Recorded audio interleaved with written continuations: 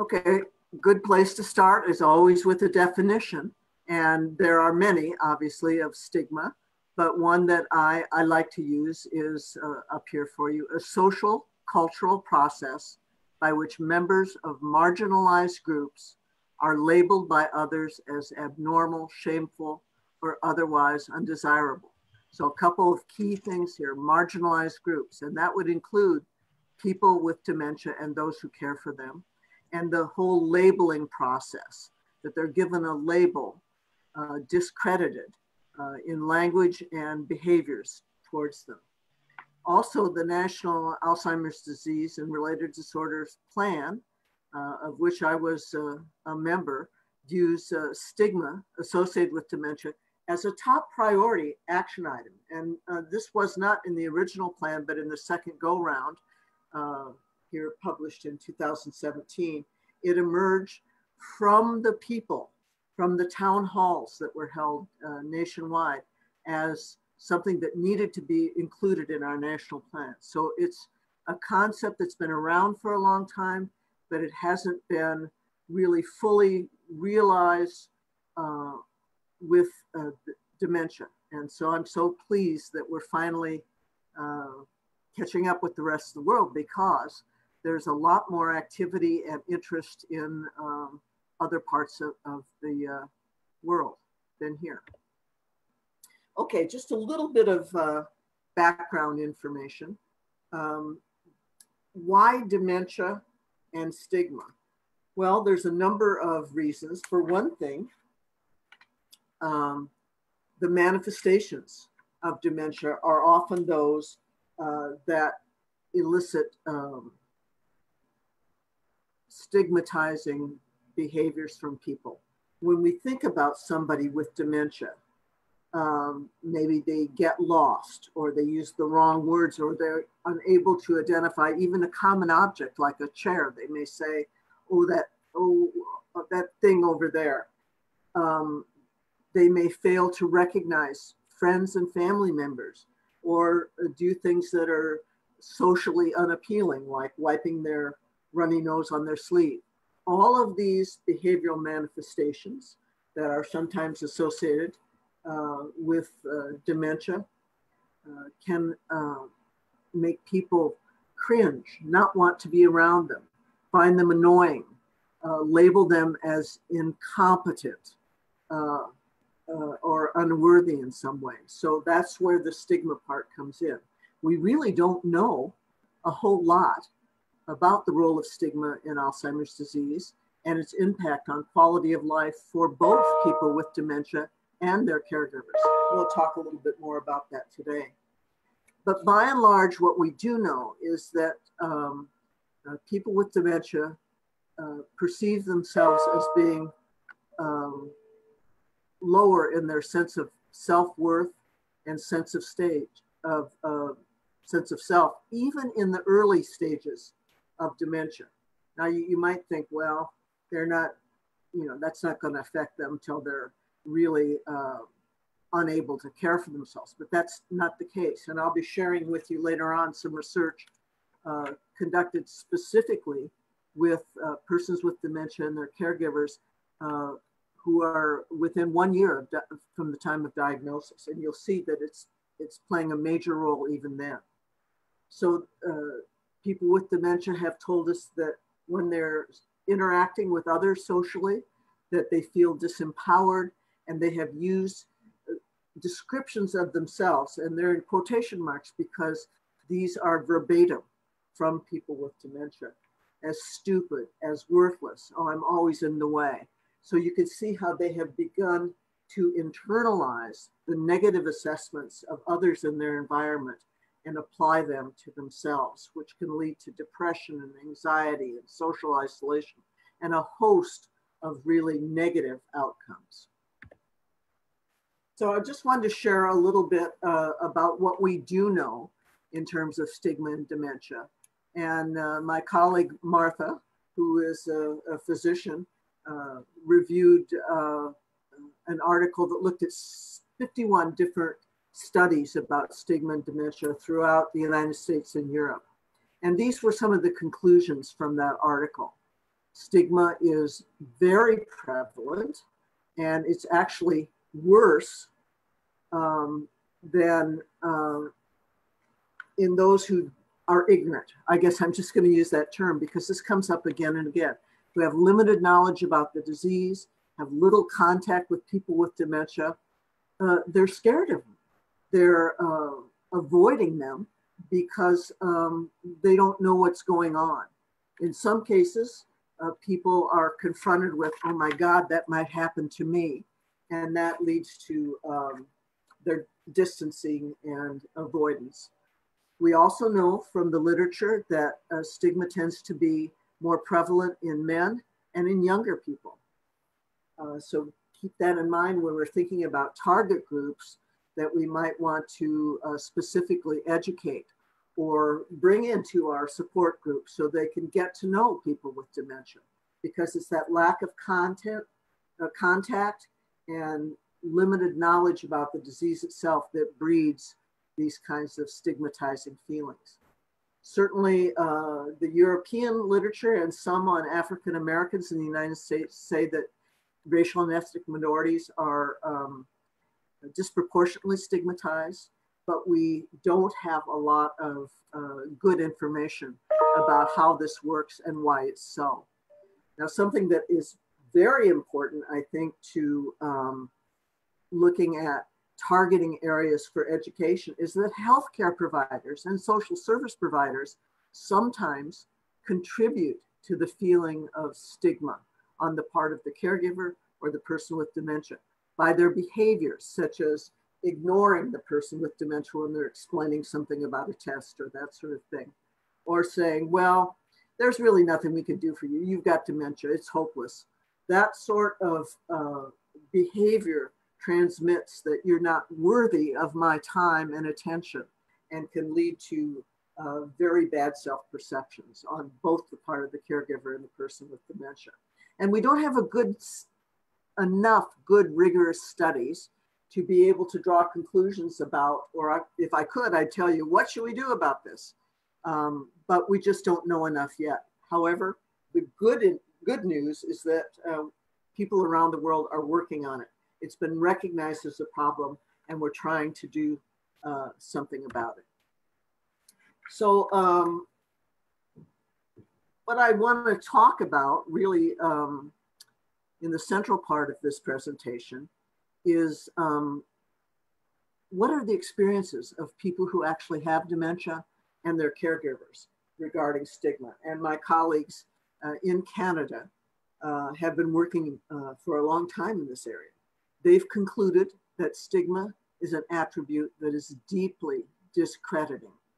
It's been studied extensively in other uh, populations, most um, prominently in the mentally ill uh, in drug addiction and in people with disabilities. And we're only now uh, getting around to looking at stigma uh, in dementia. We do know that it interferes with management and treatment of the illnesses um, that are associated with dementia. And, and by that, I mean not just the dementia itself, but uh, that another disease, uh, such as hypertension or uh, cancer, might be overlooked because the person with dementia is overlooked. And we know that stigma plays a central role in defining the experiences, unfortunately, negative experiences in most cases, for both people with dementia and their caregivers. And that research uh, is ongoing. But we'll look at a particular type of stigma called structural stigma that uh, has a lot of implications in terms of a failure to seek uh, early diagnosis and adequate treatment. So there's a big impact there. A little bit about the different types of uh, stigma. Uh, these are the four main types. Sometimes they go by other names, but these are the most common ones. Self-stigma, and that's where the person with uh, dementia uh, internalizes the feelings and behaviors and verbiage of other people about them in a negative way. Public, public stigma um, refers to day to day interactions of people with dementia and how they're discriminated, discriminated against uh, by laypersons. Courtesy stigma or stigma by association. Uh, this is the one that affects caregivers the most. And um, as you can see here, it refers to the emotions and the beliefs of those in contact with the stigmatized person. So it's sort of a guilt by association. If you're providing care to a loved one or a family member, you get sucked into that whole stigmatizing orbit because of your close association with them and the negative expressions and beliefs and behaviors are directed towards you as well as the person with dementia. And finally, structural stigma that I mentioned uh, just a minute ago. That uh, leads to delayed diagnosis and treatment, uh, failure to access services even when they are available. And um, it's experienced by a lot of caregivers with negative effects on the course of uh, dementia. I want to talk next a little bit about stigma and coping styles. Um, basically, there are two categories of coping styles, problem focused and emotion focused. Um, in general, problem focused coping strategies are associated with less distress in care partners, but the literature uh, is still mixed on this. We need more research. So uh, it's important, I think, for uh, healthcare providers to uh, observe and to ask about the type of coping strategies that you as caregivers employ to deal with the many challenges associated with uh, uh, caregiving. Uh, so on this side slide, you'll see the main types of problem-focused and emotion-focused coping. Confrontive, evasive, supportive, and self-reliant. These tend to be um, uh, less stressful for caregivers than emotion-focused coping, which is uh, focuses more on op optimistic, fatalistic, emotive, and palliative types of coping. And why is this important? Well, my Canadian colleagues have uh, done some research in this area, and they have shown uh, that different types of stigma are associated with different types of, uh, of coping styles. So caregivers who use confrontive and supportive coping styles um, are more, more likely to experience stigma by association. It's still not good, but it is better than um, uh, structural stigma, which is associated with um, more emotion focused coping styles such as evasive coping and emotive coping. Structural stigma, uh, let me just go back to uh, the definition for you. This is the type of stigma that's associated with delaying diagnosis and treatment, not accessing um, needed services, uh, and uh, failure to use uh, services to help decrease caregiver burden.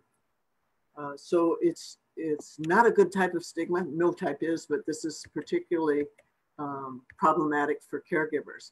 And it's associated with certain types of coping styles. So uh, the next couple of slides are uh, verbatim quotations from uh, care partners about these kinds of stigmas. Uh, the first being structural stigma that I just talked about. So you can see here the caregiver is saying it was a slow process. I finally had to ask the doctor about it. He said we could do an assessment. And I said, I'd like to know what's going on. I think something should have been done earlier. It's been going on two to three years. Um, I would have liked a diagnosis earlier instead of letting me kind of walk in the dark. So this feeling of not really being a high priority because uh, of the dementia and uh, failure to act right away when we know that there are many benefits associated with early diagnosis and the establishment of effective treatments. A second uh, expression of structural stigma by a care partner, they, the doctors, uh, were cold and they did these tests. I don't think tests tell you much except maybe you've changed or you haven't changed a lot, but it doesn't solve the problem. And like the very first time I went, they didn't give us any supports or go to a counselor or anything. So what this is getting at is, well, they may say, well, your score on the mini mental uh, status exam is 13, but that's not as helpful to many caregivers as uh, here are some community level supports, here are some uh, resources from the Heritage Agency on Aging or from the Alzheimer's Association that you can use to help support your your um, caregiving journey. So it's telling us that this type of stigma may interfere with the communication and the provision of needed information by healthcare professionals. And the final example of a care partner who's experienced structural stigma, to me, it's a nice little social affair for a lot of people. I don't need this. I need information. And that's not what's happening. So they're not feeling like they're getting the necessary data or information that they need to manage uh, their loved one with dementia. And that's what they want. They don't just need to chit chat. The next and last slide uh, illustrating uh, another type of uh, stigma frequently uh, experienced by care partners is courtesy stigma or the kind of guilt by association type of stigma. And as you can see here, again, in their own words, these caregivers are saying they didn't want to include her anymore. One lady phoned and said, you can't come because uh, we don't want you. Two ladies came to the house. We've been playing cards with you, but you can't play anymore. We don't think you should even stay in your house. We're suggesting you get someone to take you and show you a nice place to live. So um, I don't know if uh, any of you have experienced these kinds of uh, stigmatizing events, but certainly um, they're very damaging and they're very hurtful. And um, they don't help at all. Um, you know, uh, this is not a, what a caregiver wants to, to hear. Uh, you can't come, your social life is restricted, uh, your recreational activities. We, we don't want you. You're no good is the implication. And uh, you should be in a home. Uh, second one, I've had friends for 30 years. They've turned their backs on me now. We used to go for walks and, and they would phone me and go for coffee. Now I don't hear from any of them. Those aren't true friends. True friends will stand behind you and not in front of you. That's why I'm not happy. And uh, this is a very common phenomenon um, and, uh, you know, when I personally experienced, my father uh, died from uh, Lewy body dementia, and I could see uh, just the dwindling of uh, people calling. They were uncomfortable. They didn't know what to say or do. Uh, maybe they were misinformed. They thought it was contagious or whatever. But they, very few people really stood by my parents through his decade-long uh, journey. And that was particularly hurtful to my mother as, as a caregiver.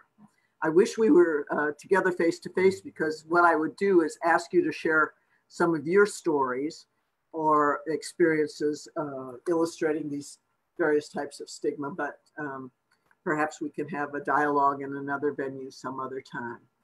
And the final one, I think there is people who don't ask me to go places or do things because I have a dementia. I think a lot of people don't know what dementia is, and that's that public ignorance part. I think it scares them because they think of it as crazy, and that really hurts. So we see uh, that ignorance is a huge problem here, and that it, breeds social isolation, and uh, that can negatively affect both the person with dementia and their caregivers. Okay, uh, next I want to turn to um, a study that my colleague Sandy Burgener and I uh, conducted. Uh, Sandy uh, lives in the Chicago area. And uh, I'm not going to the, belabor the research parts of it, except to say that we had uh, samples from uh, both Chicago and uh, Iowa, and that's why you'll see that uh, good representation of African American people in terms of ethnicity. Um, the average age of our sample of persons with dementia was um, in the late 70s a well-educated group, uh, some college education on average. Um, and as I uh, mentioned earlier, we were striving for uh, people who had, were uh, one year uh, post-diagnosis. And we were came pretty darn close to that. Uh, we did two different types of studies. One was quantitative or where we collected like survey data uh, questionnaires and that sort of thing. And then the thing I'm going to be talking most about uh, today are the qualitative analysis, where we did in-depth uh, interviews of a subsample of 22 uh, caregivers and people with dementia. So uh, just briefly one slide on what we found in the larger uh, quantitative study, that is the one with surveys and questionnaires and so forth. We um, found that uh, stigma is a very meaningful and measurable reality for people with dementia, and that um, their levels of stigma, as reported in an instrument called the Stigma Impact Scale, was comparable or in most cases far greater than uh, populations with other chronic and terminal illnesses, comparing them to the data on people with Parkinson's disease or cancer or stroke. Um, so nothing to take lightly. It, uh, the stigma of dementia is right up there with uh, other diseases uh, and illnesses that we encounter in later life. And no surprise here, we found that among uh, people with dementia, the more they perceive themselves to be stigmatized, uh, the lower their self-esteem became and the higher their levels of cognitive impairment. And from the caregiver data we collected, we found also that higher perceptions of stigma was associated with lower levels of recreational and social activities and more cognitive impairment in the person they were caring for. So this relates back to that whole notion of uh, courtesy or uh, stigma by association. People stop going out. Uh, they don't want to be laughed at or um, insulted. Uh, and it's just easier to stay home and stop doing things. So uh, basically the uh, qualitative interviews that I'm going to be reporting on next in part um, uh, were conducted again with this uh, subset of 22 dyads, the caregiver and the person with dementia. We had 11 in-depth uh, questions, and I'm not going to be going all of over all those, but just a few to give you a flavor of uh, how the person with dementia feels after one year uh, post-diagnosis and how stigma has affected or not affected their life. And I think this is important um, information for caregivers to have so they can be aware of it and perhaps try to do something about it. So the first question, describe how you feel about uh, talking about your diagnosis with family and friends. Well, most people, a little over half, did not have a problem uh, sharing their diagnosis with family or friends. However, more than 40% had some difficulty uh, and a surprising percentage had not yet disclosed their diagnosis to family and friends, even though they were a year post diagnosis. And some of the reasons that they mentioned, I've captured here in these slides. Um, a clear cut theme that will come through is the final bullet on this page. In general, children seem to have most difficulty accepting the diagnosis. And as we work through some of these uh, responses by people with dementia, it'll be easy to see uh, how the relationship with adult children is easily the most affected by the dementia diagnosis. And of course, the caregiver is caught, if especially if it's a spouse caregiver, is often caught right in the middle of that generational um, conflict. So we ask, have you uh, disclosed your diagnosis to family and friends? 64% um, uh, of the people uh, have disclosed that. Some limited that or qualified that to only good friends, uh, or I don't talk about it unless the subject comes up. I'm most comfortable talking to somebody who has the same cognitive difficulties, kind of, you know, one of a kind. But more than a third of the people were very close to the vest with their diagnosis. I don't tell anybody unless they ask. I like to keep it private so that people don't joke about things like senior moments and so forth. What about your diagnosis are you most uncomfortable discussing? Uh, and here's another theme that comes through again and again. I'm most comfortable talking to the people in my church. I think this has a lot of implications for strategies that we might use. Um, some churches have uh, what are called parish nurses that are, that are nurses who are employed by uh, the church itself and they do outreach into people's homes. It's a wonderful concept and they have been uh, exceptionally beneficial to people with dementia and their caregivers. Um, the discomfort, again, uh, just a little bit uh, below half the people uh, had experienced, uh, were uncomfortable discussing their uh, diagnosis, um, dependency and uncertainty, and uh, the behavior of healthcare professionals were common themes that made people with dementia uncomfortable about even disclosing their diagnosis. You, you can just hear the person saying, hey, look at me. I'm here too. Don't talk over or around me. Talk to me. Who are you most comfortable interacting with at present? Church associates again comes through, family and close, close friends. Others uh, said, um, my activity groups, my volunteer groups, my neighbors, small groups is something that uh, comes through again and again. And I'm sure you, as caregivers, you have long recognized that the, person uh, with dementia does better in small rather than in large groups. Um, so the, these were pretty consistent uh, responses. And so these are the types of associations or groups or social uh, contacts that as caregivers, uh, you may wish to forge and create opportunities to uh, break that vicious cycle of social isolation. What changes have you made in your social networks? Um, pretty much half and half. Um, and here are some of the uh, examples of uh, changes uh, people had made. I only talk to friends on the phone now. I don't invite people over. Um, their so social life has diminished. Uh, I'm more comfortable with people with the same diagnosis, which says something for the benefit of uh, uh, support groups.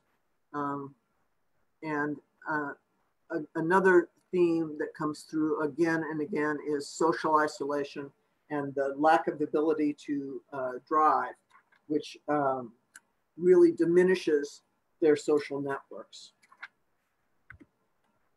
Restrictions in social life, a little less than a third uh, said they had no restrictions on their social life. Now, this is one year post diagnosis, remember.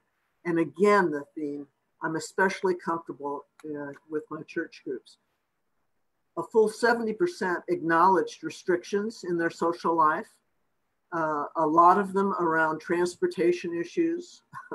my wife is dragging me around. I have to take the bus. I can't drive.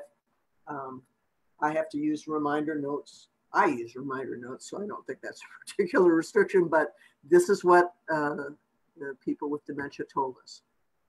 Do family members treat you differently? About half and half again. And the same theme that comes through. Look how many times, and these are just selected uh, quotations. My children treat me like a baby. My children avoid contact with me. My son doesn't want to talk about my diagnosis. My children say, I can't do this, I should live alone. Um, I think these are really important uh, responses because they tell us um, people with dementia, even at one year, are experiencing a loss of independence, infantilizing treatment, and children. And if we target any group for edu educational programs, maybe we should be focusing on adult children, uh, educational programs about dementia for them so that they um, understand the diagnosis and understand better ways to interact and support not only the person with dementia, but whomever is caring for them at home. How has your quality of life been affected by memory loss and diagnosis? Two thirds of the respondents, again, echoed the themes of I'm more dependent, I've lost my driving privileges, I'm worried about the future, I'm exasperated, and I'm fearful. And so it's good to know uh, what are these areas of concern so that we can ask about them and perhaps take measures to intervene with uh, them before they become absolutely more debilitating. So, in summary, from uh, those in depth interviews, we um, discovered that financial concerns, at least at one year post diagnosis, were not a major concern, but there was some expressed uncertainty about the future. Social rejection, uh, moderately uh, expressed, and people with dementia felt most comfortable relating to others who experienced memory loss. The notion of internalized shame uh, was quite prevalent, uh, and this notion of being treated like a child, uh, the behavior of others, avoiding them, um, fearfulness in terms of making mistakes, and social isolation. Again, uh, scores in the moderate range at even uh, one year. Uh, relying on others for transportation, most comfortable uh, in small groups. So uh, caregivers should be aware of these are the things that people with dementia around the country have told us uh, help them or discourage them. And that as caregivers, we can try to facilitate small group activities or church associations and so forth. So one of the things that my colleagues and I have been working on is educating healthcare professionals and um, social service providers to do a better job with uh, families with dementia? And how do we help them to deal, uh, not only healthcare professionals, but the public to deal with stigma? So one important thing is avoiding um, stigmatizing behaviors and languages um, in our own behaviors, uh, such as saying, um, I'm having a senior moment. This is one of the reasons that came out in our uh, interviews of why people don't disclose the diagnosis or why they don't seek help early on. This whole notion of courtesy stigma or the guilt by association uh, needs to be addressed, especially with caregivers uh, who are subjected to this type of courtesy stigma. And ask about it. This is not something uh, that most caregivers will bring up on their own. You can see on the third bullet here Many caregivers are reluctant to talk about this type of stigma because it seems like they're trying to hog the show, that uh, they want to be the center of attention and not the person with dementia. So they just keep quiet about it when they're being affected and their self esteem and self worth and levels of depression get affected by courtesy stigma. And the other thing that uh, healthcare and social service providers can do is provide families uh, people with dementia directly and their caregivers with um, facts. Good, solid, evidence based information about dementia, prognosis, uh, any interventions that can be done, and try to combat uh, misinformation, which is so uh, prevalent these days. So, talking a little bit about effective communication. Uh, we do know from the small literature that's available on what interventions are effective is that if we can get people, uh, lay people, the public, around people with dementia and we can educate them, providing factual information, that the stigma is reduced. Um, one of the things to do is also to emphasize that it's not a one size fits all disease. There's great variability in the um, age of onset and the progression of dementia across people and across types of dementia. And the other thing is uh, many times healthcare professionals in particular will fall back on jargon and biological and neurological and genetic explanations of dementia. And uh, that is not always helpful. Um, in fact, it can make people feel more hopeless. And that's especially true, what little data we have uh, for, for minorities. Um, you know, focusing on, well, uh, we think that chromosome uh, 13 is uh, affected. people might want to know uh, is there a genetic or heritable uh, connection in uh, dementia, but not maybe at that chromosomal level. Uh, just understanding how it will affect them and uh, their families. Uh, what this is, is a pilot education program that was developed for Alzheimer's Association staff. And you can see um, what was contained in this educational program. Orientation and overview, definitions of stigma, types, much as I've tried to cover briefly today, effects of stigma on individuals and families, um, and some approaches, practical tips. That's what I think caregivers need the most. Advice on uh, addressing stigma, and then using sample scenarios and interactive discussions to work through uh, what might be happening with um, uh, caregivers and people with dementia. And here's an example of one of those case-based scenarios. I'm not going to read the whole thing to you because time is growing short, but we have a scenario about Ralph uh, and how his um, social life and his uh, desire to do things that were lifelong habits and loves like card playing diminished with the onset of illness. And uh, it goes along of how his caregiver, his wife in this case, uh, Rita is distressed by these developments and wonders what she can and should do. And then, so we work with the Alzheimer's Association staff uh, interactively to say, what do you think's going on? Is this an example of stigma related to dementia? If you were talking to Ralph or Rita, what would you say or could you say? And what assistance or resources might be helpful to them? So this is how we uh, use educational programs. And I appreciate this is a very tiny slide, but what I will um, point out to you is that uh, the responses in terms of change in behaviors of the Alzheimer's Association staff who received this educational intervention uh, were phenomenal. So um, the question at the top is likelihood that I will be better able to identify um, stigma associated with Alzheimer's disease, 95%. Degree that training has been in, impacted comfort in talking about um, stigma and dementia, 90%. Likelihood that I will change the way I interact with people with dementia, more than 95%.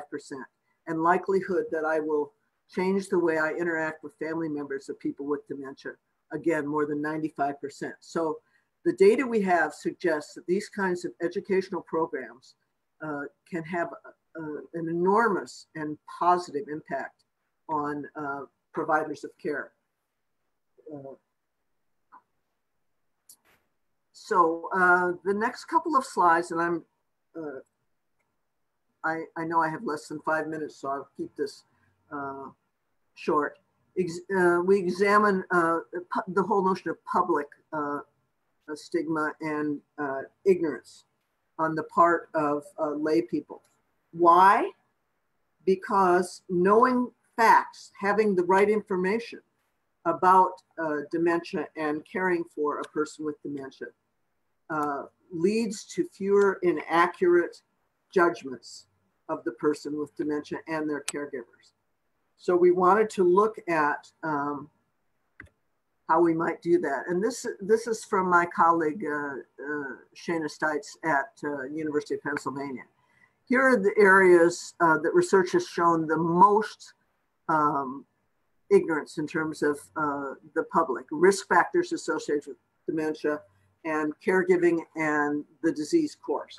So what this information suggests is that we should be aiming our public education uh, in these areas in particular, um, and then acknowledging um, some of the others that are lower, they're all lower than 100%, but what we strive for is that people really have a good understanding of the disease and its impact. This study concluded that caregiving knowledge, that is the understanding by the public of knowledge about caregiving, leads to better support and less antipathy of the general public for caregivers, and that age and gender can moderate the effects of knowledge on reactions. So older age, more positive association with caregiver knowledge and support. Um, interestingly, I, I, mentioned that uh, prior to intervention, um, uh, men have more stigmatizing uh, notions about dementia and caregivers than women. But when educated, males express even less antipathy and more positive um, expressions towards caregivers and people with dementia uh, when they have more knowledge about caregiving. So back to what we can do to help healthcare professionals and social service providers do better. Provide information uh, and support to seek timely diagnosis. This is because of structural stigma and the reluctance many times on the part of caregivers to get that diagnosis and to get the resources they need. Teaching health and coping styles. And we showed in early research how coping styles can influence um, distress on the part of the caregiver. And to ask about stigma in caregivers and persons with dementia. It's often not part of uh, the initial or ongoing assessment. And uh, as we, we said previously, caregivers are unlikely to bring it up. So we need to be proactive and say, you know, since your diagnosis, have you felt that people have treated you differently? Or can you give me an example where you felt discriminated against uh, since you've had this diagnosis of dementia? Now, the last thing I want to talk about is um, a program put together my, by my colleague in uh, Alberta, Canada, called People of Dementia. I just love this. It's uh, designed to raise public awareness and reduce stigma associated with dementia. They created a website called People of Dementia, featuring human interest stories of people with dementia and their caregivers. And if you remember earlier, I said that ignorance is one of the chief drivers of stigma towards people with dementia and their caregivers. So this is what the website looks like. It has stories about people with dementia talking in their own words, family members, or those who are uh, being supportive of them. And it serves to increase awareness of dementia, advance the public's understanding of the disease, and we know that increased awareness of the stigma associated with dementia can be lessened by understanding more about the disease and the people who are affected by it. So this is uh, the type of thing that's on this website. It's Elmer happens to have uh, dementia and it has a lot of his personal expressions, which really personalize and humanize the experience of uh, dementia in a way that combats stigma. And that's it for me. Let's see if we can get rid of the slideshow here. Very good. And get back to uh, Harrison, who's your next featured speaker. Thank you very much, Kitty. That was a great job. I appreciate you uh, taking the time today to spend uh, with us and, and sharing your information. That was really great. It was my uh, pleasure. Thank you. You did a great job for us. Um, Harrison is going to be our next speaker on our Did You Know segment. And uh, a little bit about Harrison. Harrison March is the Community Engagement Coordinator at the Heritage Area Agency on Aging. And I am going to let him share a little bit about um, Heritage and what he does there. So, Harrison, it's all you. Thanks, Karen. And thanks for getting us started off here, Kitty. Um, to echo what you both said, it's fun to, to try something new here, even though we can't have our Caregiver Wellness Day in person. So I appreciate um, all the work that went into this, and I'm glad that we could get this series going.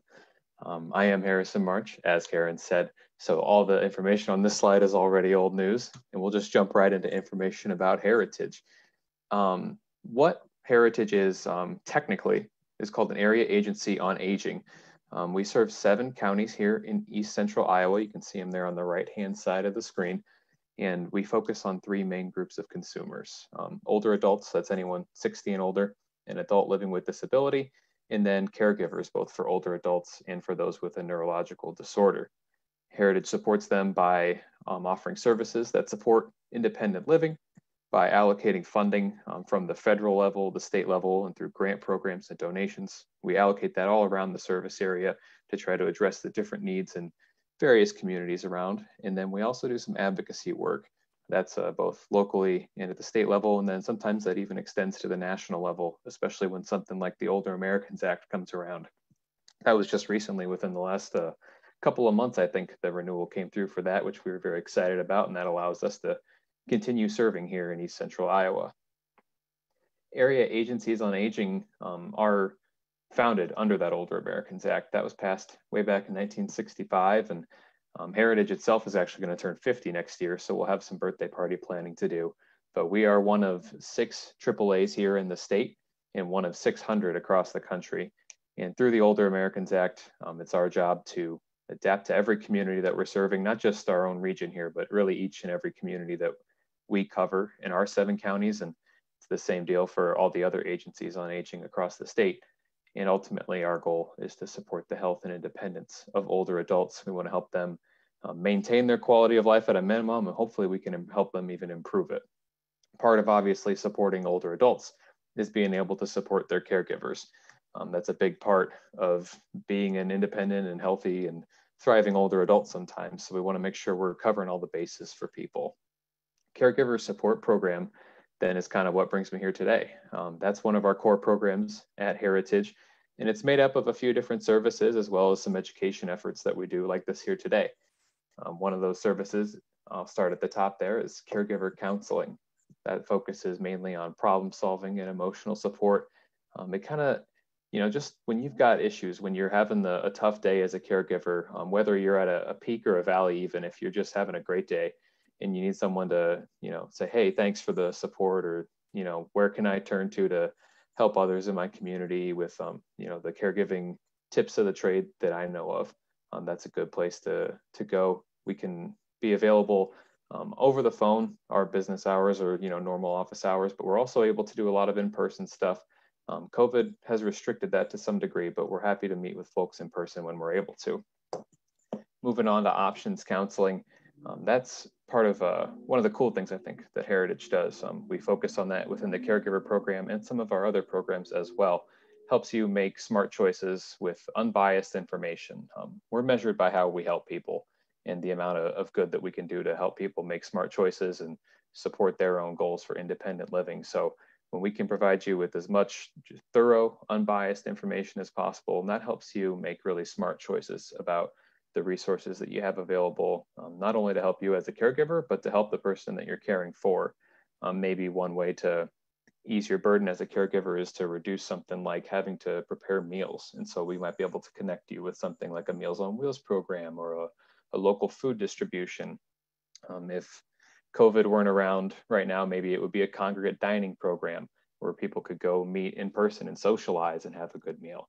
Um, so really all about getting as much information to you as we can so that you're able to make a great choice as a caregiver and make one that's as informed as possible. The last one listed on this slide here is pretty new.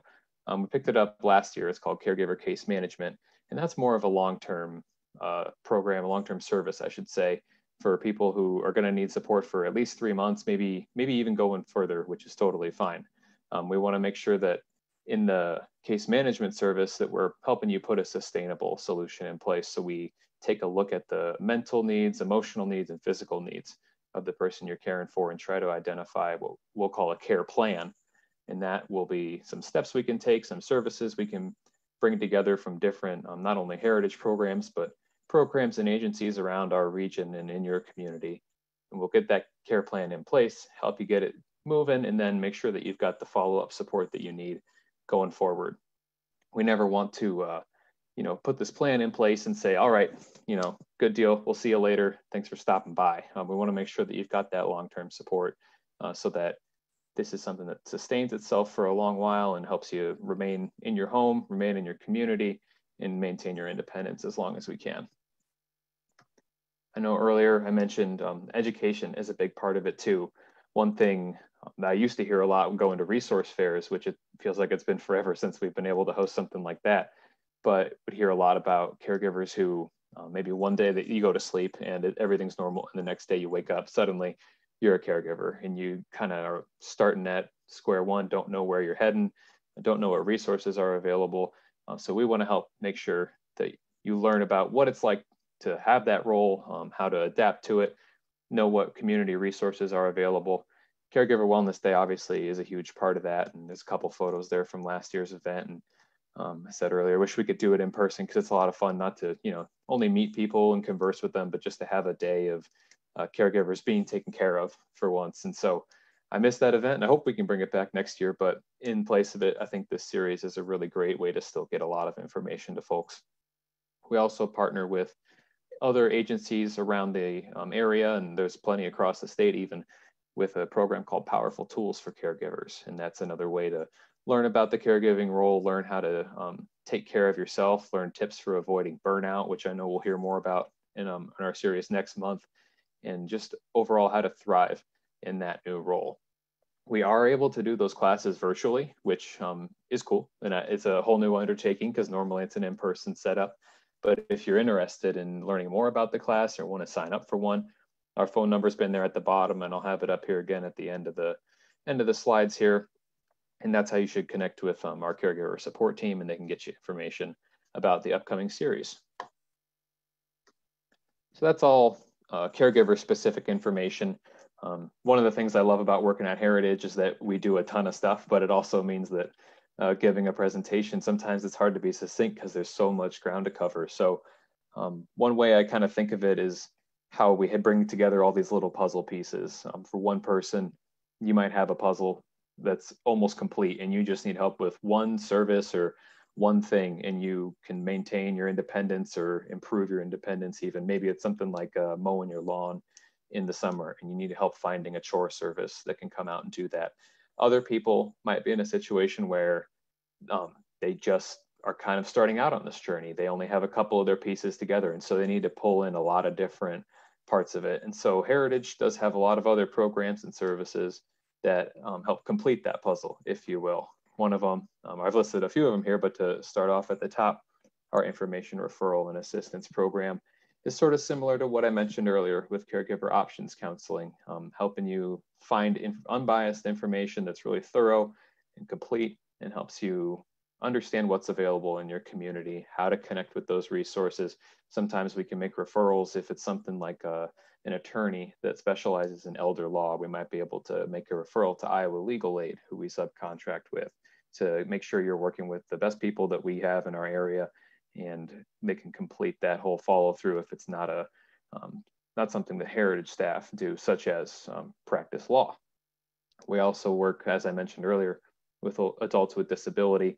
Aging and disability resources then um, help those adults with disability find the long-term support that they need um, within their community. A big focus of not only that program but our information referral and assistance as well is trying to make sure that we'll find these services within your own community, even if it's not right there in your city, in your town, someone who covers your region so that you can get the help you need. Um, a lot of times we'll find, especially in our rural counties, it's not right there down the street, but it's somebody who can travel from uh, Linn County. I believe even Karen at Home said you guys do some of that traveling a little bit outside of the Cedar Rapids area to make sure that people get the the help that they need. And so ultimately, we'll connect you with um, anybody that we can that's uh, available to serve you. Our elder rights team, they focus on the prevention of and raising awareness about elder abuse. I should mention, um, I always try to make sure if you or someone you know is in immediate danger, always call 911. But the elder rights team at Heritage is part of the more the long-term recovery, helping people escape their abusive situations and creating more long-term plans for regaining their independence and making sure they have that follow-up and that support they need in the long term. Nutrition and wellness focuses on the physical health of older adults that program is a little different right now than it looked um, even you know four or five months ago with congregate dining um, not being the safest setting right now. So we transitioned a lot to more home delivered meals, more meal pickups, which I think um, are doing a good job addressing the gap right now. But we hope someday we can get back to congregate dining so you get more of that socialization, which is so key for older adults as well. And then wellness we do teach evidence-based wellness classes right now. Um, if you want to check some Tai Chi lessons out, we've got them available on our Facebook page and on our website. Brian normally leads those classes in person, but that's just another way that we've had to adapt lately to sort of go with the flow of things and make sure that we can still get good information and good fun activities out to folks, but um, while maintaining our safety and knowing that um, it's important to have these resources available 24 7 even when we're you know in this pandemic so that really hits on all of our core programs there. There's even more that we do, um, but like I said earlier, there's a lot to cover and I don't want it to be too overwhelming. So if you want to find out more information about programs, services, um, anything about Heritage really, you can head to our website there, www.heritageaaa.org. Lastly, I've just got contact information on here for our agency um, I the thing I love about my job is I get to brag about all the work that my coworkers do because really they do the the awesome people, the people helping of things, and I get to talk about how cool they are. So if you do want to con or excuse me connect with any of our services or programs, um, call one of those numbers there on the screen. Um, we'll get back to you within a business day or two. Um, right now we're not in our office, so can't visit in person, and we'll we're checking our voicemails as regularly as we can to make sure that we're following up with people right away and hopefully someday soon we can share updates about getting back into our office. That is a ton of information about heritage, I know, but um, it's a, like I said earlier, it's great that we can come get here together and share all the info and get the word out about how we can support caregivers here in East Central Iowa. And I know beyond there's a lot of work. Um, obviously, Kitty, you go international with some of your research, but um, even just within our network of agencies on aging here in Iowa. Um, it's a real great thing to be a part of, especially in a time like this when support is, so key. So I appreciate it. Great. Thank you so much, Harrison. This is lots of information once again in a very short period of time. And, and I agree, doing the Caregiver Wellness Day when you can be in person and see people and interact with people, that is the best day ever. And I know last year we had close to 200 people uh, at the event, and it was a great day um, having to do it differently was hard for all of us. Um, but being able to offer these webinars for everybody is, is a great second way to do it. Um, so we're reaching out to people in that in that aspect, and um, the services that we offer here in our community are still available for people. So the help is still here. It's just making sure we're getting the word out that we're we're available to help. Um, our next seminar will be or excuse me, our next webinar will be next month, August 11th. It'll be at one o'clock again, uh, Central Time. And uh, Dr. James Coyle will be our guest speaker, and he'll be sharing information on caregiver fatigue and self care. Um, and I think that's so important right now because we're so inundated with taking care of our health with the COVID 19 going on and staying indoors and we're taking care of our loved ones are we still taking care of ourselves while we're taking care of our loved one? And we're finding ourselves getting really down about that and getting fatigued. So dr coyle will be joining us next month and he'll be our guest speaker. I will be uh, the did you know speaker talking about the ins and outs of in-home care and um, lots of great information to share. Again this this uh, webinar today will be recorded so you can go on to the Heritage uh, Area Agency on Aging website. I'm going to get that right before we're done here, Harrison. We've got like five webinars to get it down, so. I will have it down. Um, so you can go onto the website and you can rewatch uh, this whole webinar today and get more information. If you feel that this is something you um, that to share with someone that was not able to join us today, share it. This is the way to get the information out. Um, and then hopefully you'll be able to join us next month, August 11th. Mark your calendars. And um, we are doing this on Facebook Live on Heritage Area Agency on Aging Facebook page. See, I'm getting better in one day. Um, and uh, we'll be able to share this news with everybody. So thank you everyone for joining us. Thank you, Dr. Buckwalter, for sharing your afternoon with us and your great information. It was great to have you on board. And uh, we look forward to um, um, sharing the word with everybody. So I hope you all make a great day uh, with what we've been given today, and the rest of the week is a great week for you as well. So thank you, everybody. Bye bye.